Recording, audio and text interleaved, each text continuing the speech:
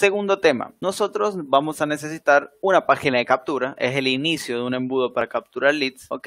Y es lo que vamos a crear. Nosotros podemos crearlas de diferentes formas, desde cero, eligiendo una plantilla, etcétera, etcétera, ¿sí? Es lo que te voy a mostrar ahora, un camino, y estos son los pasos que vamos a hacer, muy sencillos, ¿sí? Los medios dan igual, como vos lo hagas da igual, esto es como el resumen, creas un sitio web, elegís una plantilla, sincronizas tu lista y ya está, ya lo tenés listo este paso, ok. Vamos allá entonces. Venimos a nuestra oficina de Buildroll, vamos a aplicaciones y vamos al Chita. En el Chita nosotros hacemos sitios web. Vamos a crear uno de cero, que es lo que te quería mostrar. Vamos a elegir una plantilla normal.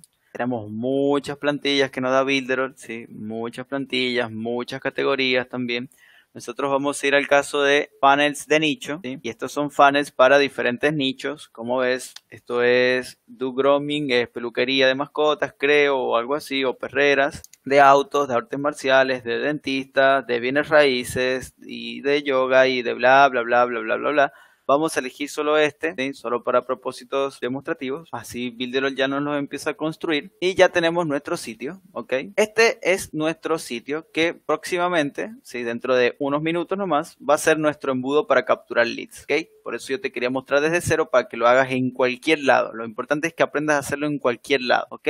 Bueno, tenemos primero nuestra página de captura. Vamos a republicarlo al sitio, si lo vemos. Página de captura, ¿ok? Aquí captamos el lead. Página de agradecimiento, perdón, página de espera. Aquí le decimos al lead que tiene que confirmar su suscripción. Y página de agradecimiento donde le damos al lead lo que le hemos prometido, ¿ok? Básicamente es como el embudo este que, le, que mostré acá. Son así los embudos para capturar leads. Bien, genial. Volvemos entonces. Ya tenemos el embudo hecho, esta es como la plantilla, ¿sí? Lo podemos hacer de múltiples formas, este es un camino nada más, uno de los más fáciles. Y lo primero es que trabajemos nuestra página de captura, ¿sí? Vamos a ponerle página de captura a esto, si todos lo entendemos mejor. Página de captura. Guardar, vamos a editarla. En nuestra página de captura, ¿por qué yo ya elegí una plantilla? Porque la plantilla tiene un formulario. Si vos querés aprender a crear todo esto desde cero, o a usar los, las plantillas y paneles, pasar por nuestro curso de embudos de ventas, porque ahí lo enseñamos. Yo he elegido esto porque solo te explico lo del email marketing. Esa es la, parte importante. Ok.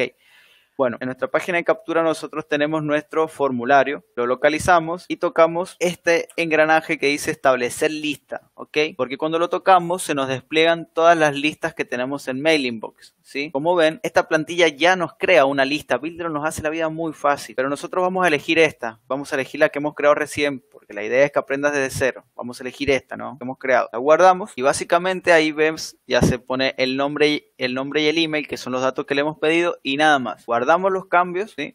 Ya nos da un subdominio, si lo publicamos, obviamente, así lo podemos ver en internet y Builderall ya nos da un subdominio, así que no hace falta conectar nuestro dominio. Genial. Ya con esto ya tenemos nuestra página de captura que tiene un formulario y ese formulario lo hemos sincronizado con la lista que hemos creado que es esta. ¿Ok? Así que genial. Ya tenés la primera parte de tu embudo para capturar leads. Ya lo tenés listo. ¿Ok? Genial.